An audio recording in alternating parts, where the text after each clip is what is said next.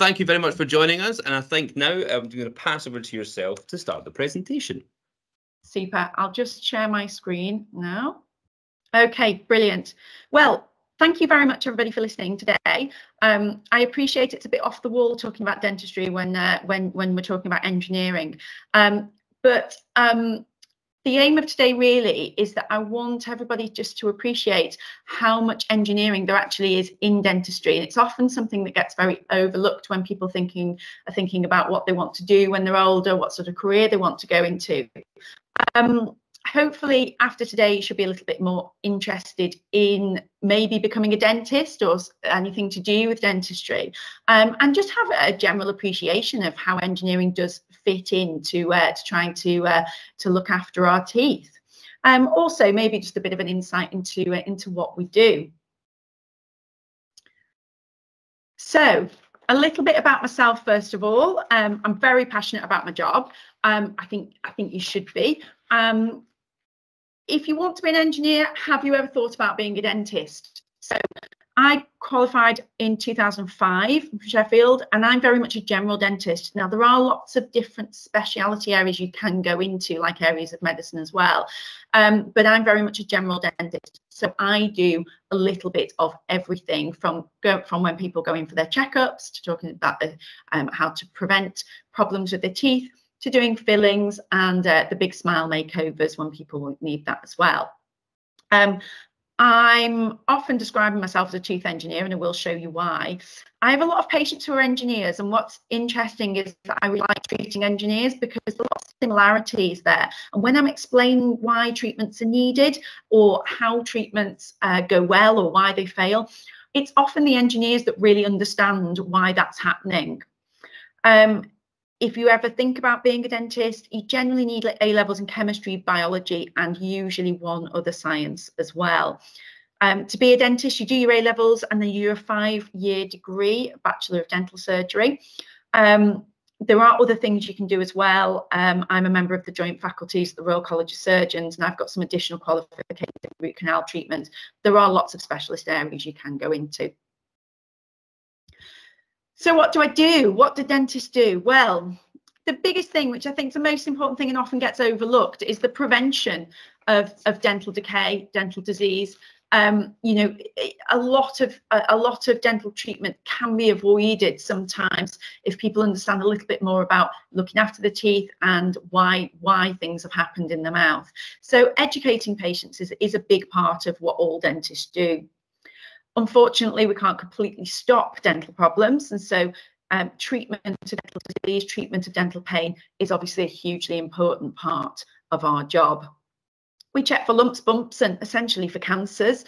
Um, a lot of people are aware of different areas in your body you can get cancer, and often it, the mouth gets overlooked a little bit, but uh, it, it's very serious when it happens. So we do we do always check for any issues inside the mouth.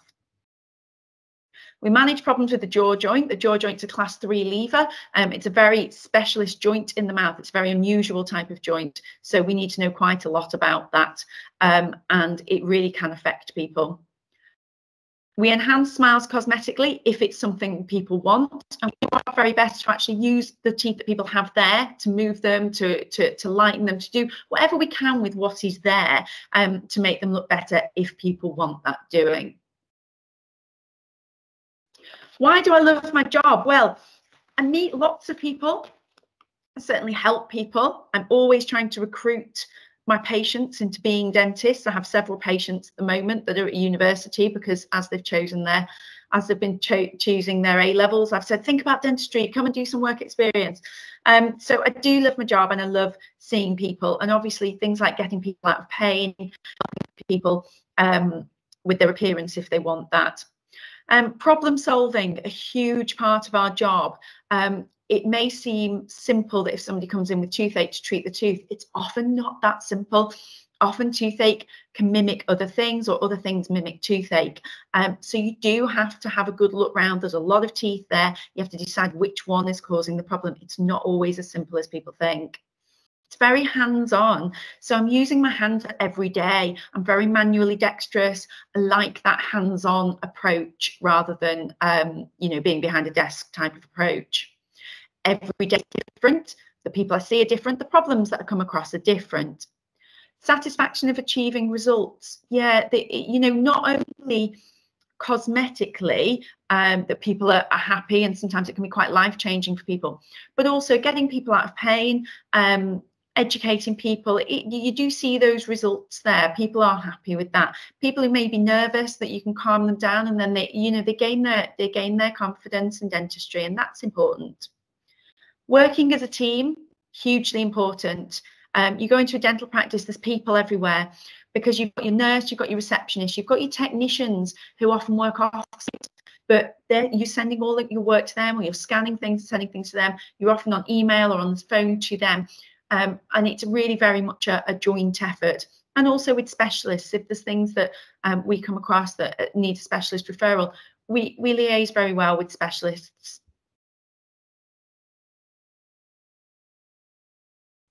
So why do we need teeth? Well, what have they got to do with engineering? Well, interestingly, I looked at a definition of an engineer, and uh, and and and the the best one I could find was saying a person who designs, builds, or maintains engines, machines, or structures.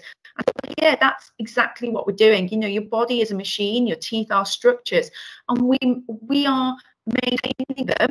Number one, we are designing and build them if we need to. If we need to change the design of them, then that's that's our job is to start doing that. Building them, yes. If people have lost teeth, we try and build that smile back up again. Why do we need teeth? Function, eating, you know it's why babies aren't sat at the dinner table having a three course meal. They can only they can only function so much in having milk because they don't have the teeth. Speech hugely affected when teeth are either moved um, or if any teeth are lost. And obviously our smile which is a part of um, our appearance and how people how people view us how we come across. Um, you know eyes and smile hugely important the function of teeth, first of all, well, can we cope without teeth? Yes, we can, but you're on a very, very soft diet. You've lost that smile um, and you've lost an amount of function and um, and speech with it when you've lost a lot of teeth. Um, I appreciate School Science Week and the theme is very much on time this year. Well, you you probably realise that children will have 20 deciduous teeth. Um, usually starts about age seven to about age 11 and um, you've got your your 20 deciduous teeth. Um, and we call those deciduous teeth because like the trees with the deciduous trees where the leaves fall off it's the same with teeth. They're called deciduous teeth because these 20 teeth fall out Interestingly, next time you go to the dentist, listen to what they say. And as they're reading out your teeth, they'll call your deciduous teeth or your baby teeth or your milk teeth A, B, C, D, and E. We, we assign them a letter. As an adult with all of your teeth, you have 32 permanent teeth. And we, we number those one to eight because we go from the center and out one to eight like that in four sections and that's how uh, that's how we we um, record which teeth are present. When we restore these teeth, we need to consider lots of things. So you need to consider the material that needs to be used. Now, it's um, it, you don't just have any choice of material. It needs to be strong because you need to be able to bite your food with it. It needs to be cosmetic if it's near the front of the mouth, not so much at the back of the mouth, but certainly at the front of the mouth. It does need to be a material that's strong, but also looks it needs to be able to cope with food and also saliva. So, and food can be quite acidic. Um, saliva, obviously, it's got you've got wetness, water moving over those teeth all day it needs to be tolerated by the body because if you do have a filling that might come out or something that comes out you need if you if you swallow it by accident your body needs to be able to tolerate that. Your lips against the against the, any fillings need to be able to tolerate it you need to not react to it. So dental materials is a very difficult type of material science because you've got to have something that's very strong but also that your body can can uh, can cope with so when we look at the different teeth and the formation structure of teeth, again, they're all related to engineering. Our teeth are designed in a way to help us to chew and to eat. So when you look at our incisor teeth, which is your front teeth, there's four in the upper jaw, four in the lower jaw, they're actually quite thin. Now, these act like a knife. If you think about eating an apple, you're going to eat the apple and you need the knife to cut into that apple. And this is what the incisor teeth do. They're the ones that bite into the apple to take that chunk off from the apple because we can't eat a whole apple, obviously. They need to be sharp because they're acting like a knife. When you're restoring these teeth, so if somebody falls and breaks a tooth like this, your material needs to color match. So it can't just be white, it needs to be the same color as the other teeth. And that can be quite difficult. You often have to layer different um, colors together to make it look like the tooth next to it. It needs to be very, very strong, but in thin section. You can't have a bulky incisor. You've got to make it come down to the tip, but it's got to be strong even though it's thin. And enamel, which is the, the substance naturally made, and that is that's what's on your teeth, is wonderful at being strong but in thin sections. So when that's lost, there's a real engineering problem there. How are we going to fix this? Have it look good, be strong, but also be very thin. The next teeth are longer are canine teeth or canine teeth. And these teeth are the ones that help us to tear meat. They're long and pointy, and they actually as well protect the front teeth a lot. So when um when we do when we're talking about our canines, you might notice on your dogs or and you look at uh, you look at uh, animals that eat a lot of meat, they have really long and very thick, uh, very strong canine teeth because they have to tear meat, and that's really what our canines are designed for.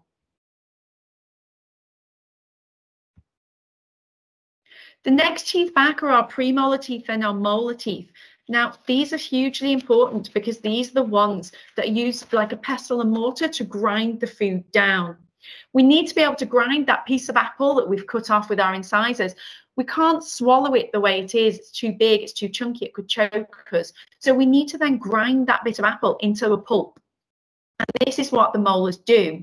The cusps on the molars fit together so that they interlock, so that they bite the teeth down, and also you can move your lower jaw around so that you grind that food down to make a bolus that's small enough for you to swallow without choking on it. I've said about the jaw joint being a class three lever, it's really, really important that we have our molar teeth so that we've got that function of chewing.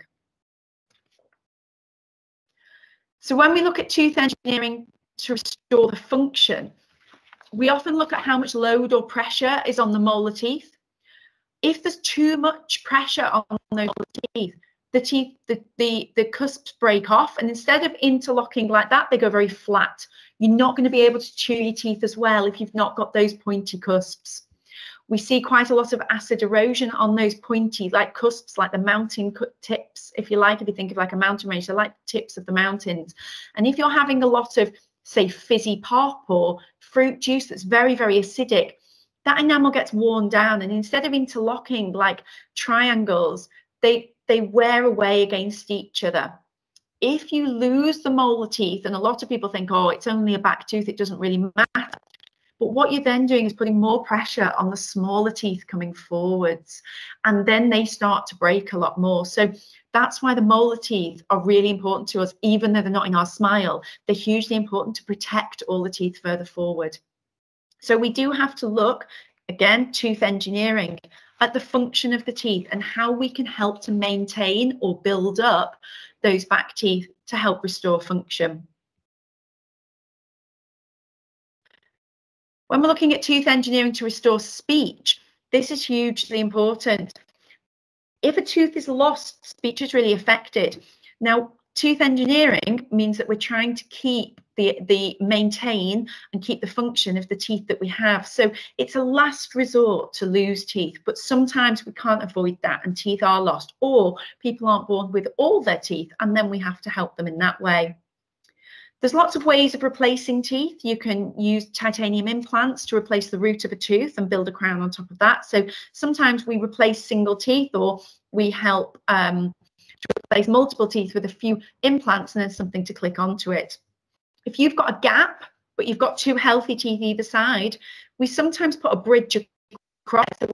We, put the bridge capping over the teeth either side, and, and, and that bridge involves closing over the gap so that there doesn't look like there's a gap anymore.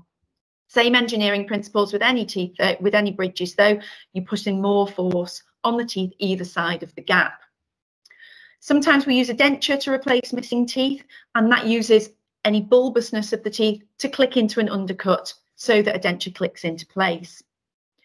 Um, we, it's hugely important. We all like to be able to speak clearly, but it's especially important for people who publicly speak, singers, wind instruments, instrument players. Um, they really do need to be able to use their um, use their speech to, to restore the function of the mouth so that their speech is unaffected. So designing smiles, if people come in and they've either had a lot of dentistry or lost a lot of teeth, or they just want their teeth that they've got to be in a better smile, we can use our creative side. So if you feel like you're good at sciences, you can you like the engineering side of sciences, but you're also very creative, which all engineers are. Um, you can use this creative side to try and help people change their smile. We use digital smile design, which uses scanners. So we scan people's teeth, we get it up on a computer. We can decide what to move, how to move it, where it's going to fit in with your bite once you move the teeth. And we use that on, on computers to see how the smile will look at the end, how the function will be. Are we biting on enough teeth? And that all helps us to plan rather than guesswork or making something look good but then you realize that biting together doesn't work, you need to be able to plan the, the, the smile as a whole using the whole mouth. We sometimes can get a cast up of teeth, which we used to do with white wax, and um, and say, right, that's how your teeth are now. Let's move the wax and show you how the teeth are going to look. But scanners have mainly sort of taken over that. And we also use orthodontic treatment, which is braces to use your teeth and just move them into a better design, a design that functions better, can help look at to help to help you to look after your teeth a bit better, help you to eat a bit better, and also help your speech, especially if the front, people often have a lisp. We can move things using the teeth that you've got just to move them to make them function a bit better. In the future of dentistry, more technology will be used. Um, it's already coming in in leap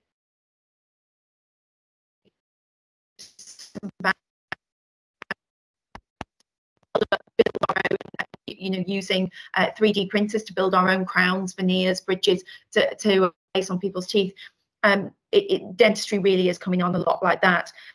There's sometimes in the media, there's a lot about tooth germ um, stem cell implants uh, to replace teeth. And again, it's an interesting side. The one thing I would say about stem cell implants is that we're quite a way off there because they're so expensive. They're so expensive to do. And if you implant a stem cell, it's still got to then build a tooth. So you've still got that time of having a gap while the tooth builds, a bit like when your teeth are coming through when you're a child.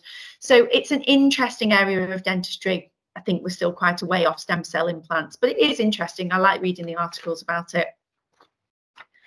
So that's the end of my presentation, and um, thank you very much for listening. Hoping that if any of you are thinking about being engineers and have an interest in chemistry or biology, you may now think about dentistry as a possible career option.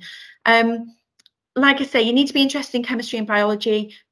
You need to be really dexterous, so um, good with your hands. If you like sewing, you like doing nails, you like doing eyelashes, you like painting small structures, anything like that. Any of those sorts of hobbies where you find that you uh, are using your hands a lot, you probably are quite manually dexterous. If you're interested in working with people, working with the public, um, you know, it is it is something to really think about if if dentistry is something you think about, the one thing I would say is get as much work experience as possible. Um, speak to your local dentist, a local dental hospital, see if they use any dental technicians, any dental um, specialists. Go and do a go and see if you can stay there for an afternoon and have a look at what they do. Next time you go to your dentist, have a chat to them about how they got into dentistry and what they'd recommend. Um, there's lots of ways um, that ways of thinking about engineering and and about medicine, and there's a lot of crossovers there. So anything like that, you know, if you're interested, just ask people and get work experience.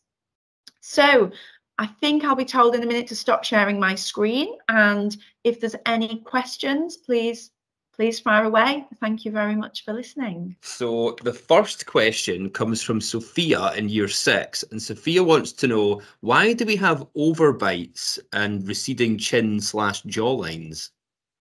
Oh, well, that's genetic, Sophia, really. Um, so again, it, it's why do we have it? Well, it's just how our teeth fit together. In the same way that um, we all look different, um, it's just the way our teeth fit together. Now, an, an overbite is normal, but we you sometimes find that your dentist will measure things and there is parameters of what we call normal but actually is functions well looks good and helps with your speech if something is too many millimeters one way or the other it might affect looks functional speech. And that's when we look at maybe braces to straighten or maybe things to straighten. What often happens is as you've got your baby teeth or your deciduous teeth and you come into your permanent teeth your overjet your overbite the way your chin and everything is is is different. And as you grow your teeth and your jaws grow, which you won't really realize, you have growth spurts in your jaw, you've got growth plates at the top of your jaw here, everything grows and those those millimeters change and we take those measurements quite a lot and they do change. So you probably don't realize it but every time you go to the dentist um, from being sort of six years old to being 18 your dentist is looking at all these things and assessing them. From the minute you walk in they're assessing how your teeth fit together. So they may not say it but they are looking and thinking is this person somebody who could who we could help with braces?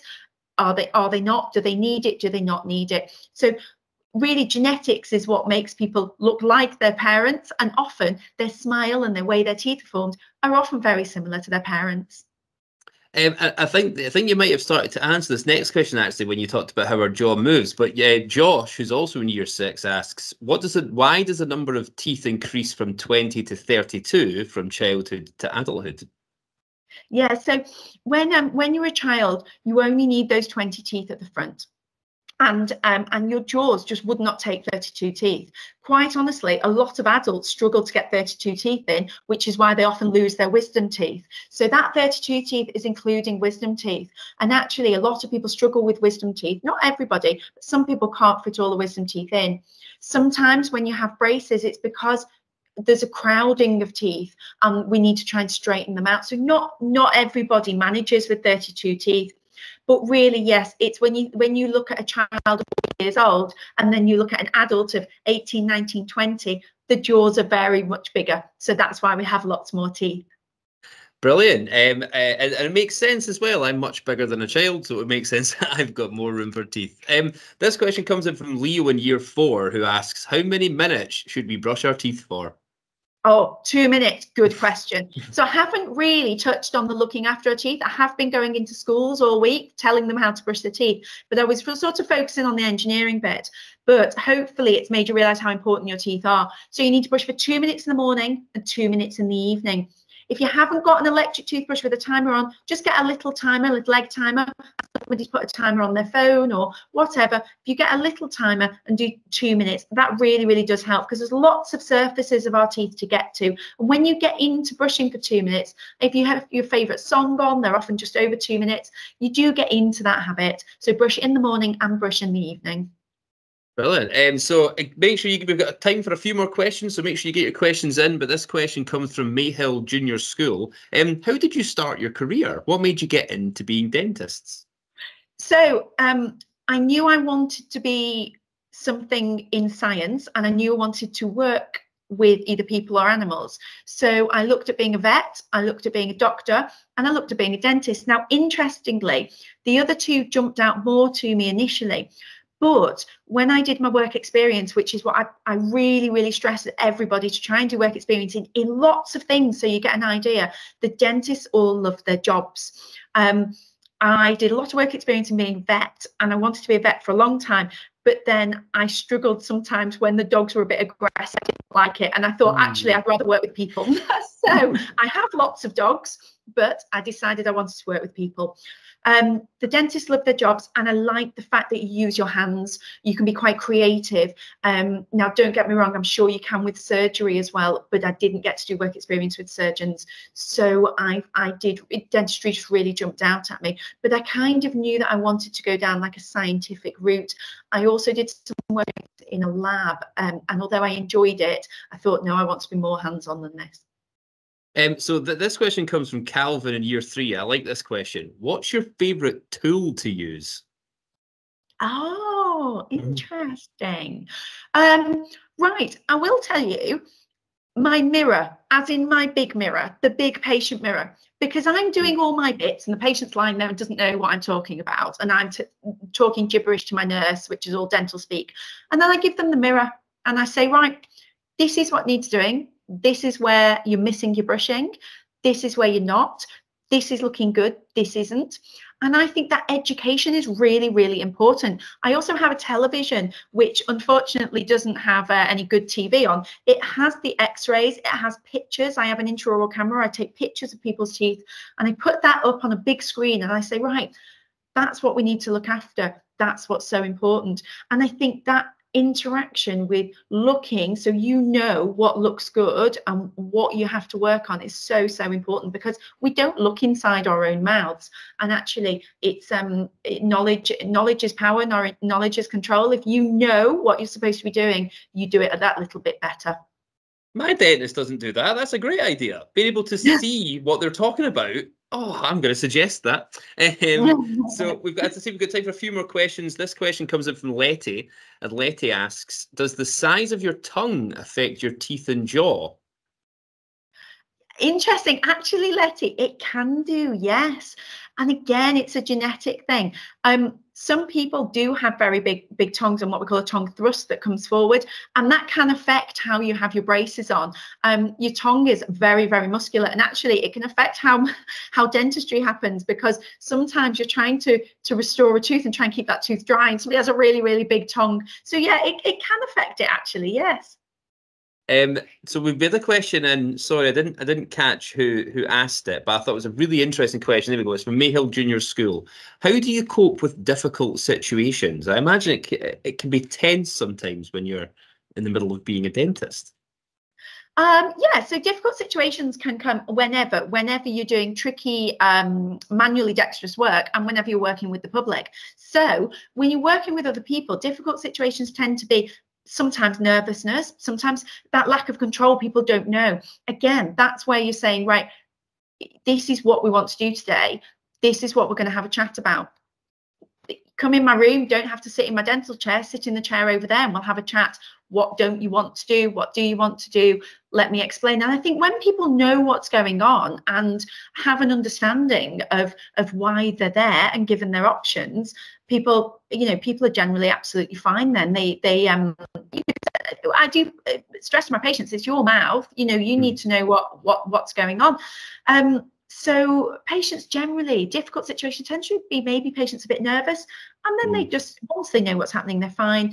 Difficult situations maybe in the mouth like a big tongue. Yeah that can be that can be a difficult situation but we generally have a good laugh about it and you know it takes a bit more time and and, and we get there in the end and you know patients always always walk out happy always Brilliant. And again, it sounds like in a difficult situation, you just talk to them because, like you said, yeah. you like working with people and it helps. Absolutely. Absolutely. I talk a lot. um, so I think we've got time for two more questions. This question comes from Ava, who's also in year six. What food is best for our teeth? And I've got a question Is there food that's good for your teeth?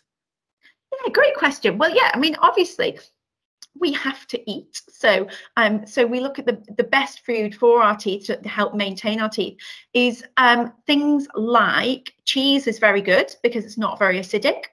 Um, so cheese is cheese is a, a great food for our teeth, but like like anything, it's it's about um, it's about um, uh, moderation, everything in moderation.